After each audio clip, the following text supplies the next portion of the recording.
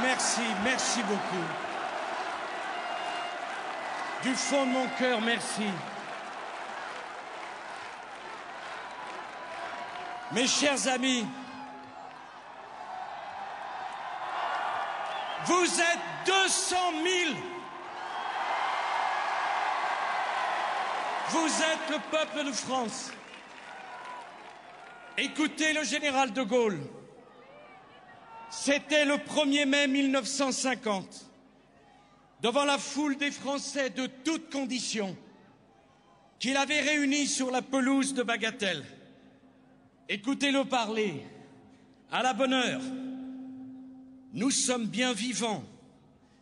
Il n'est que de nous voir pour être sûr que notre peuple n'est aucunement décidé à terminer sa carrière.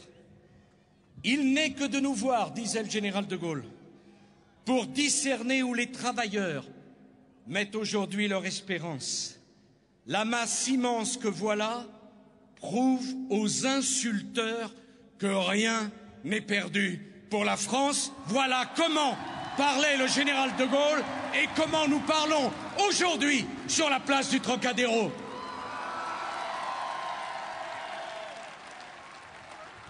Avec le général de Gaulle,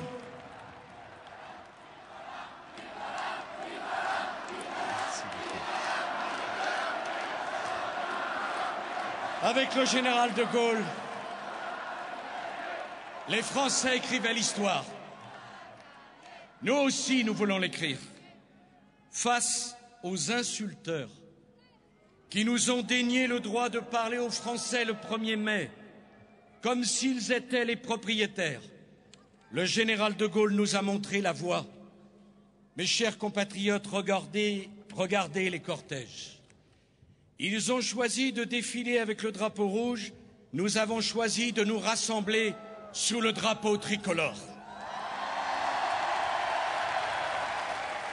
Ce drapeau tricolore dont Lamartine a parlé comme on n'avait jamais parlé, le drapeau tricolore a fait le tour du monde avec nos libertés et nos gloires, alors que le drapeau rouge n'a fait que le tour du champ de Mars, traîné dans le sang du peuple. Voilà comment parlait Lamartine. Je n'ai pas une virgule à ce que disait Lamartine à propos du drapeau tricolore.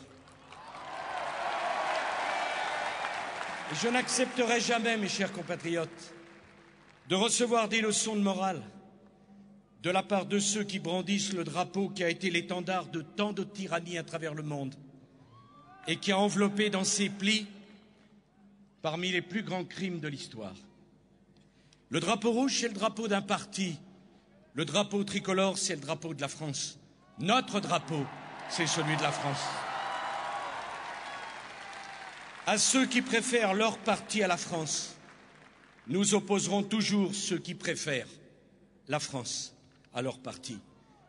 Si nous sommes réunis en ce 1er mai, jour de la fête du travail, c'est bien parce que nous assumons la France dans toute sa diversité, parce que nous assumons toute l'histoire de la France, toutes les familles spirituelles de la France, toutes les sensibilités de la France, sans aucune exception. Il n'y a pas pour nous un peuple de droite et un peuple de gauche. Il n'y a pas pour nous une histoire de droite et une histoire de gauche. Il n'y a pas aujourd'hui dans la rue, d'un côté les héritiers, des canulionnais, des mineurs de Germinal, des défenseurs de Tréfus, et de l'autre les héritiers des anti-dreyfusards ou des maîtres de forge. Il n'y a pas d'un côté les héritiers de la Révolution, du Front populaire, du Conseil national de la résistance, et de l'autre les héritiers de ce qu'il y a eu de pire dans l'histoire de France. Je n'ai pas entendu monter de ces cortèges où l'on brandissait les drapeaux rouges la grande voix de Jaurès défendant les mineurs de Carmaux. Je n'ai pas entendu aujourd'hui dans ces cortèges avec les drapeaux rouges la grande voix de Léon Blum réclamant les congés payés. Je n'ai pas entendu la voix de Jean Moulin devant le CNR. Je n'ai pas entendu la voix de Zola demandant justice pour Dreyfus. Je n'ai même pas entendu parler dans ces défilés de la cause des travailleurs. Je n'ai entendu que des slogans politiques. Voilà la vérité aujourd'hui et la différence. Je veux le dire à tous ceux qui nous contestent le droit de nous rassembler aujourd'hui. Nous nous considérons, nous, peuple de France, comme les héritiers, je dis bien les héritiers de ceux qui ont lutté pour le droit de grève, pour la liberté syndicale et pour les congés payés. Nous nous considérons comme les héritiers de ceux qui ont défendu Dreyfus et de ceux qui ont créé la sécurité sociale grâce au général de Gaulle en 1945. Et je veux le dire à tous ceux qui ont défilé aujourd'hui, non pas pour le travail, mais contre nous. Nous nous considérons comme acteurs du progrès social autant que vous, et sans doute même davantage que vous. Vous avez abîmé le travail en prétendant le défendre. Vous avez appauvri les travailleurs en prétendant les protéger. Vous avez fait les 35 heures. Vous avez avancé l'âge de la retraite à 60 ans sans avoir le premier centime pour la financer. Vous allez alourdir le coût du travail.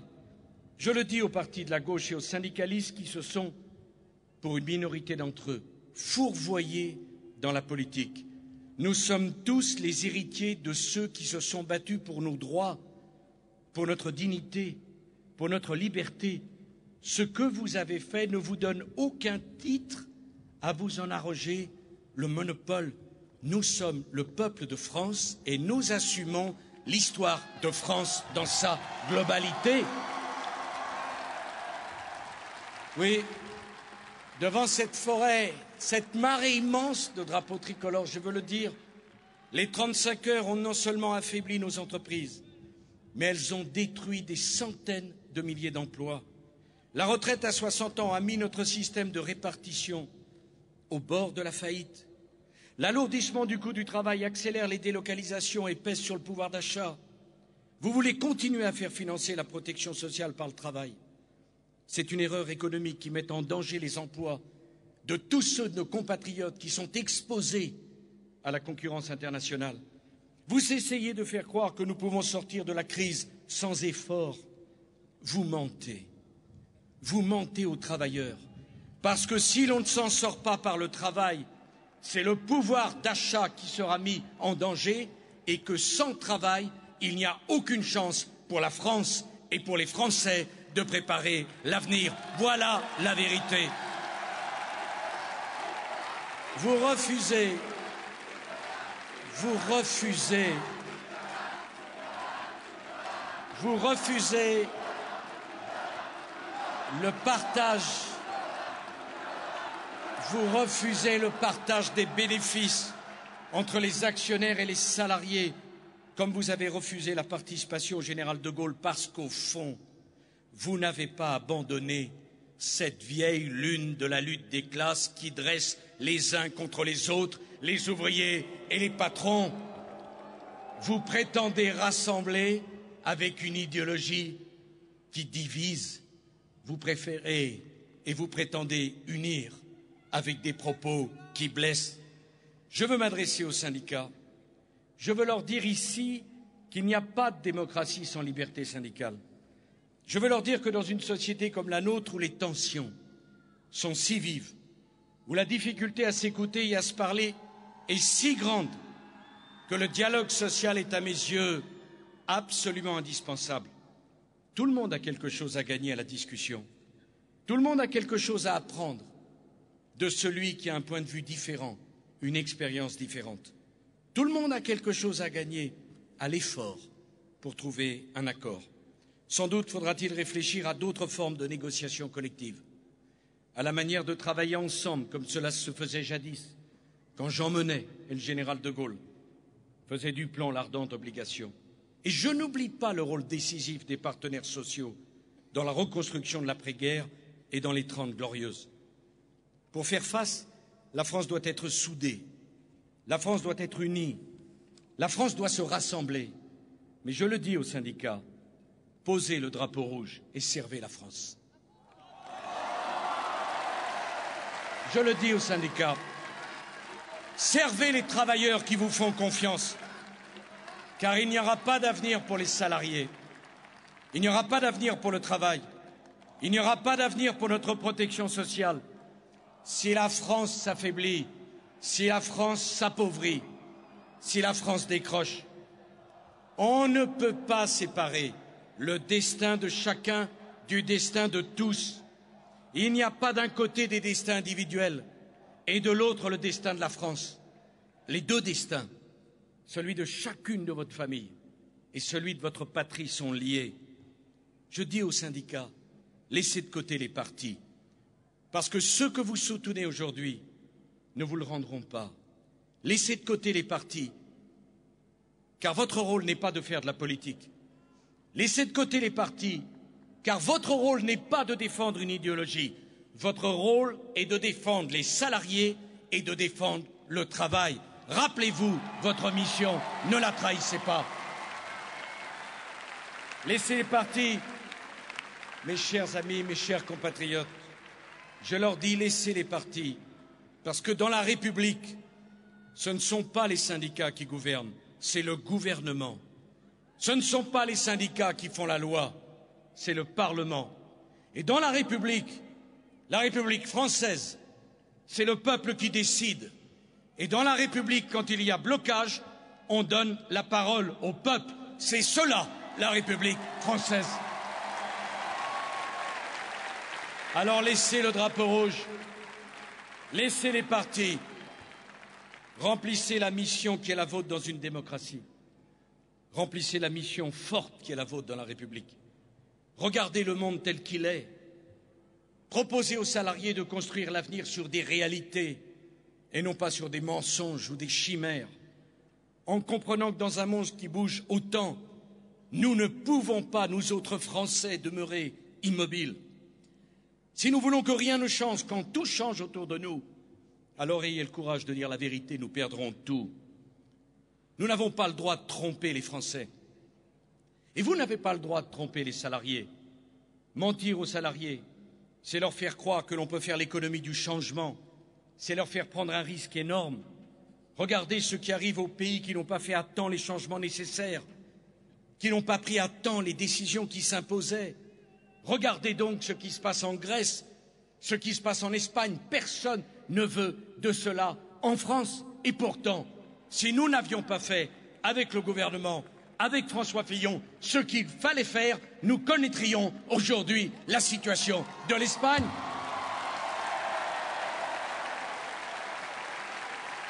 Qui veut de cette situation pour la France? Qui veut de cette situation pour les salariés français? Qui veut cela pour les retraités français qui ont travaillé toute leur vie?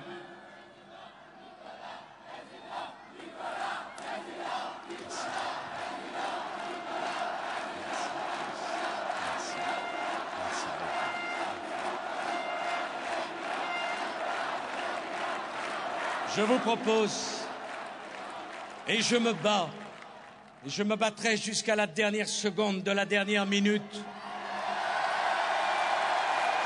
parce que j'aime trop mon pays, parce que j'aime trop la France au plus profond de moi-même. Je me bats pour un nouveau modèle social où les syndicats, au lieu d'être une force de conservation, seront une force de transformation sociale. Je me bats pour un nouveau modèle social français où la négociation collective descendra jusque dans l'entreprise, où il sera possible, avec l'accord de tous, de déroger aux règles générales quand le carnet de commandes de l'entreprise l'exigera. Je me bats, je veux un nouveau modèle français où chacun prendra ses responsabilités, où l'entreprise ne sera plus mise en difficulté simplement parce que les règles générales seront inadaptées à son cas particulier. Je veux un nouveau modèle français où les rapports sociaux dans l'entreprise seront différents, où le rôle des syndicats dans l'économie sera différent, où parler de souplesse ne sera pas un crime, où une souplesse négociée permettra d'éviter bien des drames, bien des faillites, bien des licenciements, bien des conflits, bien des souffrances, je me bats pour un modèle social français où chacun prendra sa responsabilité et où enfin on se fera confiance.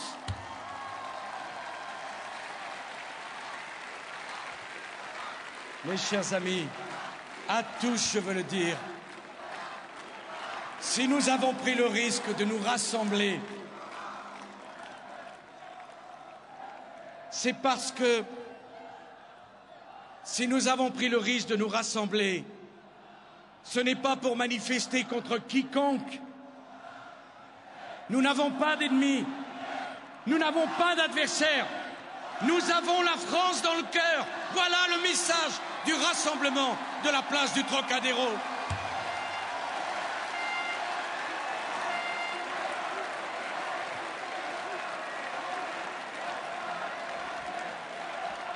Pour nous, dans les choix que nous allons faire, la question du travail est absolument centrale. C'est par le travail que nous sortirons de la crise. C'est par le travail que la France remboursera ses dettes. C'est par le travail que la France retrouvera la croissance. C'est par le travail que nous garantirons le pouvoir d'achat. C'est par le travail et par le mérite que nous pourrons reprendre la maîtrise de notre destin individuel et collectif. Oui, je veux un nouveau modèle social français où le travail sera reconnu comme une valeur, où l'on ne cherchera pas à le décourager, où on n'empêchera pas ceux qui veulent travailler de travailler, où on ne partagera pas le travail, parce que c'est le travail qui crée le travail et le partage du temps de travail qui crée le chômage. Je ne veux pas que l'on abîme le travail par les dumpings, les concurrences déloyales. Je veux protéger le travail. J'ai osé le mot frontière, je le sais. Cela fait débat. Mais si j'ai mis les frontières au centre de mon projet, c'est parce que les frontières expriment ce refus du laisser-faire, du laisser-aller, ce refus du tout se vaut, tout est permis, plus rien n'a de valeur, ce refus de considérer qu'il n'y a aucune hiérarchie entre les sentiments, les situations et les choses.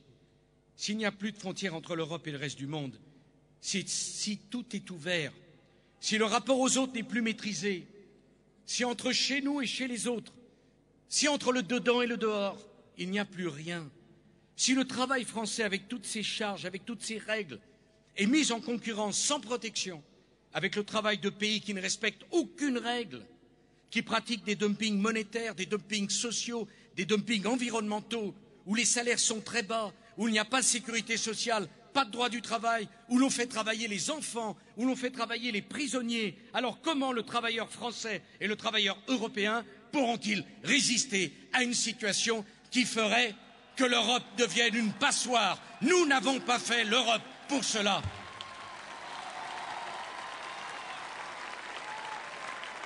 Comment demander, comment demander à un ouvrier de l'industrie de travailler davantage de faire des efforts de productivité s'il doit vivre toujours dans l'angoisse, car c'est une angoisse de la délocalisation, parce que cet ouvrier sait que tous les efforts qu'il pourra le faire ne compenseront jamais l'inéquité de la concurrence. L'Europe ne doit plus accepter les dumpings. Se résigner à l'effacement des frontières entre l'Europe et le reste du monde, c'est le premier acte par lequel une nation renonce à maîtriser son avenir il faut des frontières à l'Europe.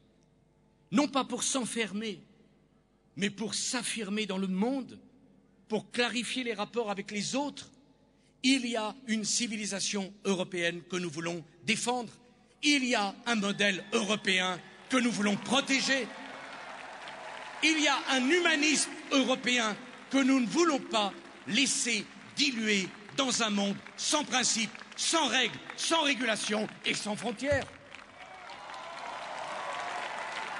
Alors les frontières, ça peut paraître loin des préoccupations quotidiennes de ceux qui se lèvent tôt et qui travaillent dur. Pourtant, ce sont bien les conditions de la concurrence qui rendent la vie si dure. Si l'euro est trop fort, pas une seule de nos entreprises ne pourra s'en sortir. Si l'immigration n'est pas maîtrisée aux frontières de l'Europe, si nos marchés publics sont ouverts alors que les autres ne le sont pas, si nous ne pouvons pas réserver une part de nos marchés à nos PME, s'il n'y a pas de traçabilité des produits que nous importons, alors la vie pour ceux qui travaillent sera de plus en plus difficile. Alors tous ceux qui travaillent continueront de percevoir l'avenir non comme une promesse, mais comme une menace. Je veux un nouveau modèle social français, où tous les secteurs se sentiront solidaires, où le travail sera enrichi par la formation de chacun, je veux un nouveau modèle social français où plus aucun enfant n'entrera au collège, sans savoir lire, écrire, compter, où l'école sera attentive aux fragilités de chacun, où les professeurs seront davantage présents au collège et au lycée pour que les élèves puissent s'appuyer sur eux. Je veux un nouveau modèle français où l'État ne sera plus un État bureaucratique, mais un État entrepreneur, servant d'appui à tous les entrepreneurs et à tous les créateurs. Je veux que le travail soit créatif, productif. Je veux un nouveau modèle français où la question du coût du travail ne sera pas tabou. Je veux un nouveau modèle français où le poids des normes et des règles qui pèsent si lourdement sur chacun de vous sera allégé, parce qu'au lieu de protéger le travail, l'excès de normes finit par le détruire. Je veux un nouveau modèle français où l'on ne cherchera pas à diminuer le coût du travail en abaissant les salaires. Parce qu'en France, je veux le dire en prenant mes responsabilités, le salaire n'est pas trop haut, il est trop bas. Parce que la baisse des salaires, ça serait entrer dans le cercle vicieux de la dépression et de la récession. Augmenter les salaires et diminuer le coût de travail, voilà le défi immense des cinq années qui viennent. Diminuer le coût du travail. Nous le ferons en finançant une réduction des cotisations familiales par la TVA anti-délocalisation. Je ne comprends pas l'absence de sincérité de tant de responsables. Avant la campagne, ils étaient nombreux à gauche à approuver cette idée. Où sont-ils? On ne les entend plus. Voilà. Voilà la gauche, celle qu'on entend, qui crie à l'injustice. Parce que j'affirme qu'on ne doit pas faire l'Europe du consommateur, mais l'Europe de l'entrepreneur, l'Europe du travailleur, l'Europe du producteur. Parce que le jour où le consommateur est au chômage, qu'est-ce qui lui reste pour consommer? La gauche, celle qu'on entend, crie à l'injustice parce qu'il s'agit de faire payer le consommateur, mais les délocalisations, ce n'est pas un drame? Ce n'est pas une injustice? Et à vous qui refusez ce que nous proposons, que proposez-vous? Rien, comme d'habitude? Une commission? Une réflexion? Une dilution des responsabilités? Et le chômage? Ce n'est pas injuste? Et celui qui n'a plus de travail J'aimerais savoir ce qu'il peut consommer. Et puis il y a l'autre voie, celle de la participation que le général de Gaulle a ouverte contre la gauche, contre les syndicats, contre toutes les forces du conservatisme. Nous avons voulu la prime dividende, mais je veux un nouveau modèle français où j'ose le mot. Le capitalisme des entrepreneurs aura remplacé le capitalisme financier, car le capitalisme financier trahit les valeurs de l'économie de marché. Voilà ce que je pense et que je voulais vous dire.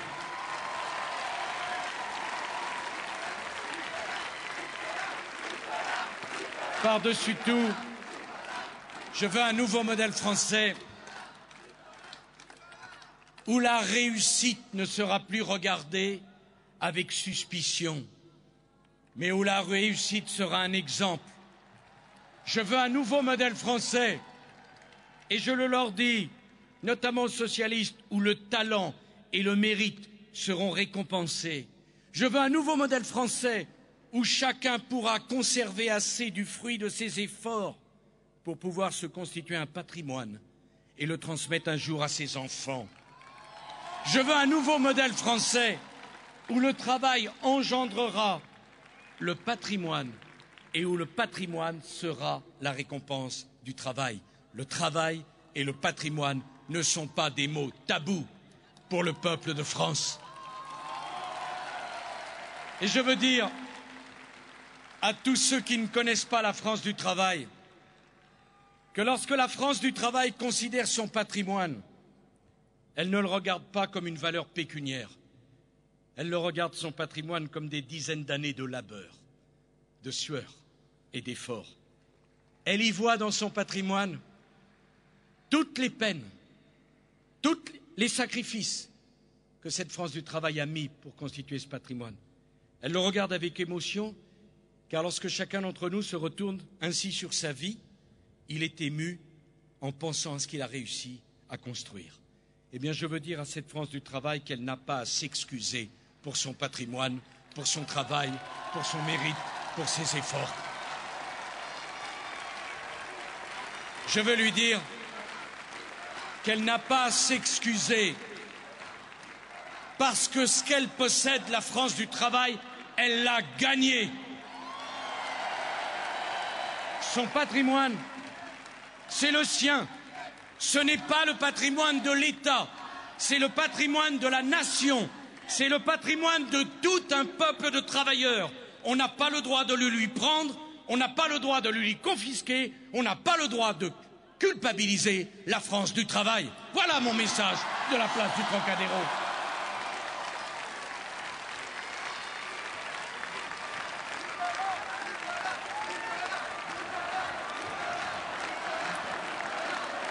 Je vais être plus précis encore. Au cas où on ne m'aurait pas parfaitement compris, revenir sur l'exonération des droits de succession pour les petites et moyennes successions, remettre en cause le quotient familial qui est la base de la politique familiale en France, matraquer fiscalement les classes moyennes pour payer une folie dépensière, ce serait briser pour longtemps le rêve de la France du travail. Alors à tous ceux qui ne connaissent pas cette France du travail, je veux leur dire que la France du travail, elle n'est pas avide, que la France du travail, elle n'est pas cupide, que la France du travail, elle n'est pas malhonnête, que la France du travail, elle n'est pas immorale. Et c'est justement pour cela qu'elle ne supporte plus les mises en cause de la France. La France est l'un des pays les plus accueillants et les plus généreux au monde. La France ne mérite pas qu'on la critique sans arrêt. La France ne mérite pas d'être stigmatisée. La France doit être aimée et respectée. Voilà notre message.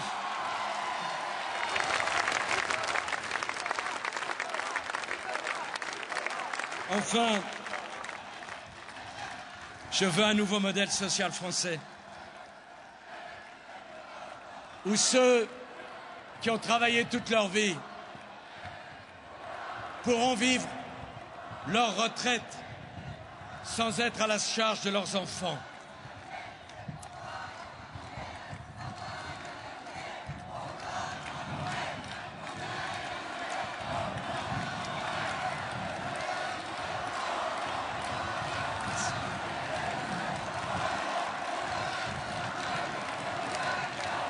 Chers amis, encore un ou deux mots. Je veux, dans ce nouveau modèle social, que celui qui a travaillé toute sa vie puisse vivre sans être à la charge de ses enfants. C'est pour moi important. Il y a tous les retraités qui peuvent aider leurs enfants, et tant mieux. Et à ceux qui ne peuvent pas, qui en souffrent, mais à qui je n'ai pas voulu qu'ils subissent cette humiliation de devoir tendre la main pour que leurs enfants les aident. C'est pour cela que nous avons voulu la réforme des retraites, pour qu'aucun retraité n'ait à demander à ses enfants de l'aider à vivre. C'est une question de dignité, c'est une question morale, c'est une question de justice.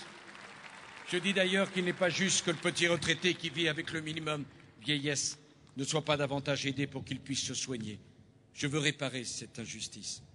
Si j'ai voulu reculer l'âge de départ à la retraite, c'est parce que je n'ai pas voulu diminuer les pensions.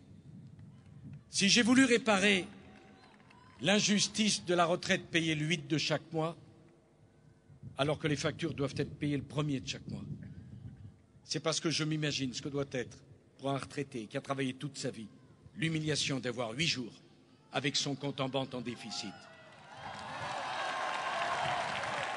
Je veux un nouveau modèle français où l'école, l'école sera une école de l'exigence, où on apprendra aux enfants, à nos enfants, à tracer la frontière, la frontière entre le bien et le mal, la frontière entre ce qui se fait et ce qui ne se fait pas, la frontière entre la vérité et le mensonge, entre le beau et le laid, une école qui leur inculquera le goût de l'effort, et le respect du travail. Une école qui leur fera éprouver la joie de la connaissance comme la récompense du travail de la pensée. Parce que c'est sur le socle des valeurs que la famille et l'école transmettent aux enfants que se construit le modèle social français de l'avenir. Mes chers compatriotes, ce projet que je vous présente n'est rien d'autre que le rêve d'une nation française rassemblée, fière de ses valeurs, j'ose le mot, de son identité. Si on conteste à la France son identité, qu'aurons-nous à partager avec les autres identités dans le monde? Croyez-vous que la Chine ne défend pas son identité? Que le Brésil ne défend pas son identité? Que les États-Unis d'Amérique ne défendent pas leur identité? Si nous renonçons à notre identité, nous n'aurions rien à partager avec les autres identités dans le monde. Alors oui, peuple de France, nous sommes différents et par-dessus tout, nous voulons le demeurer. Nous sommes la République et pas seulement la démocratie. Nous ne voulons à aucun prix du communautarisme parce que nous sommes républicains et qu'en République, les tribus et les communautarismes, nous n'en voulons pas. Nous sommes les héritiers d'une immense culture. Nous sommes les enfants de Voltaire, de Chateaubriand, de Victor Hugo, de Maupassant. Nous ne voulons à aucun prix de l'aplatissement culturel du monde. Nous voulons garder notre langue, notre littérature, notre cinéma, notre musique, notre art de vivre. Nous sommes les héritiers d'une immense histoire, les héritiers de Jeanne d'Arc, de Bonaparte, du général de Gaulle, les héritiers de la Renaissance, de la résistance, des Trente Glorieuses. Nous ne voulons pas d'une petite ambition, nous voulons de grands projets pour un grand pays qui s'appelle la France. Nous ne voulons pas de la jalousie, nous ne voulons pas de l'égalitarisme, nous ne voulons pas de l'amertume, nous ne voulons pas de la haine, nous ne voulons pas de la lutte des classes, nous ne voulons pas du socialisme.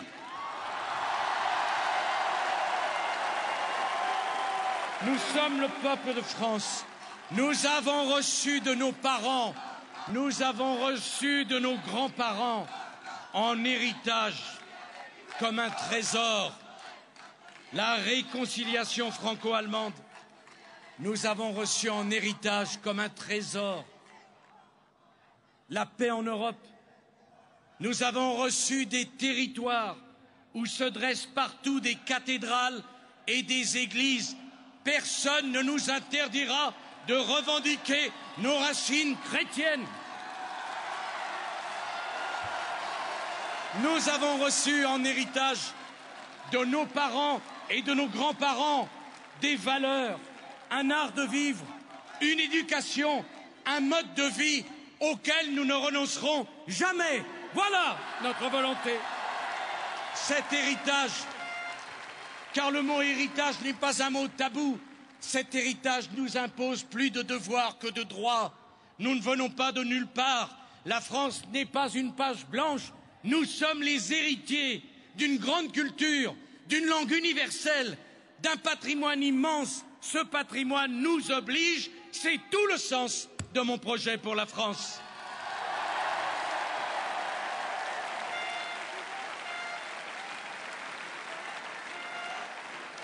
Alors, mes chers amis, enfin, ce que je vous propose, ce n'est pas la fermeture, jamais.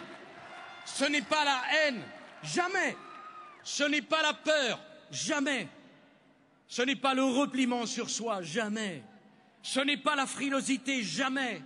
Ce n'est pas la haine de soi et la haine des autres, jamais. Je laisse ces sentiments bas aux autres, à ceux qui m'injurient, à ceux qui nous critiquent, à ceux qui abaissent la France. Ce ne sont pas les nôtres. Ce que je vous propose, ce sont nos valeurs, notre identité et des frontières qui nous protègent pour agir et pour ne plus subir. Ce que je vous propose, c'est le contraire du laisser-faire, c'est le contraire de l'abandon.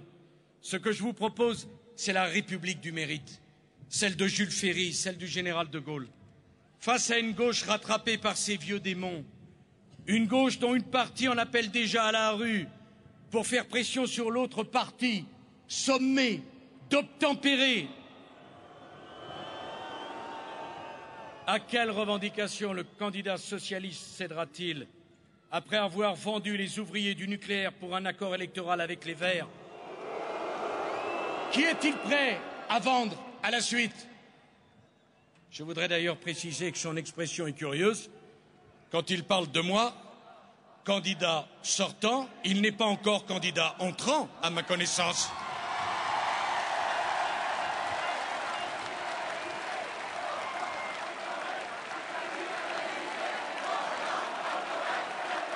Pour finir, écoutons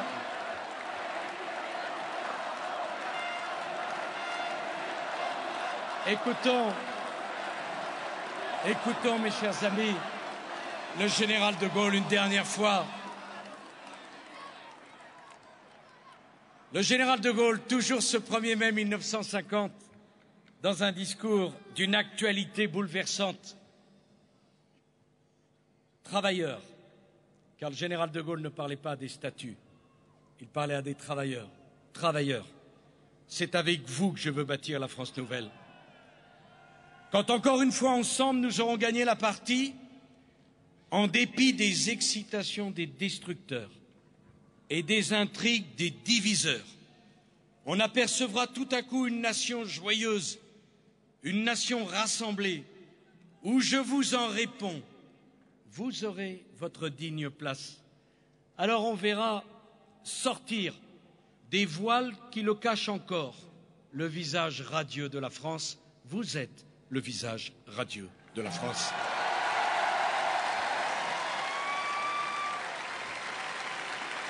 Alors il reste trois jours. Trois jours pour expliquer. Trois jours pour convaincre. Trois jours pour entraîner. Trois jours pour que chacun comprenne que dimanche, il ne votera pas pour un candidat, mais pour lui-même. Il ne votera pas pour un candidat, mais pour son avenir, celui de son pays, et celui de ses enfants. Trois jours, trois jours pour gagner. Vive la République et vive la France.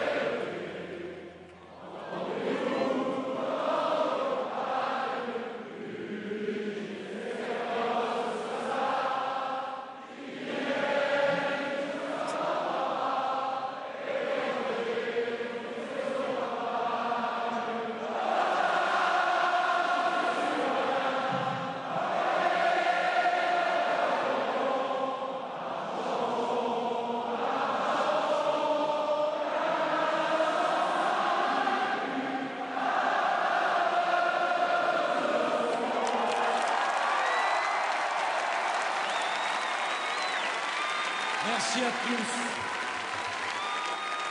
Merci à toi, François Fillon. Merci à toi, Jean-Pierre Raffarin. Merci à toi, Alain Juppé. Merci, Jean-François Copé, Bernard Accoyer, Nathalie, tous ceux qui m'ont rejoint. Et permettez-moi un remerciement tout particulier à Carla.